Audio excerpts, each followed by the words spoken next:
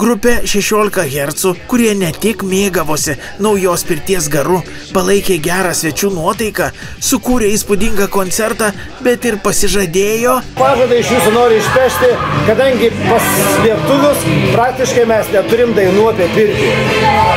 Tai vat, e, pažadėkit man 16 Hz.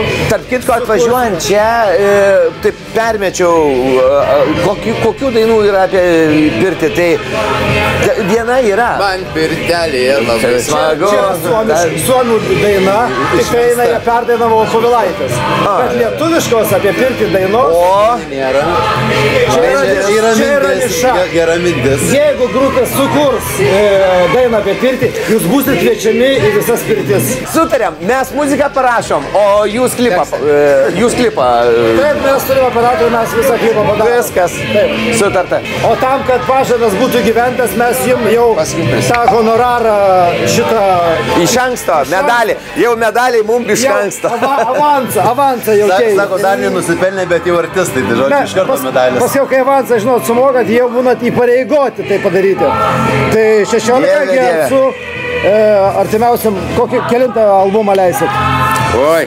Oi. Lengvesnį klausimą prašom. 13 jau išleista gal ar 13. Ar 10? 14 albume mes norėsime išgirsti visą B pusę jūsų albumo. kuris- singlą. Kuris, jo. Singlą mes išleisim, jo, tokį Tai vienetinę Daina dainą. apie pirtį. Ir dabar impro- paimprovizuojam, ką nors pirties tematiką. Vat, suprantate, aš dabar ir galvoju, kokia tai turėtų, koks e, skambesys. Ar tai relaksinė, ar tai linksma, ar tai tokia. Man pirtelėje labai smagu. Atvažiavom į pirtelę pasiūliu. Palaikysim man tos lapų.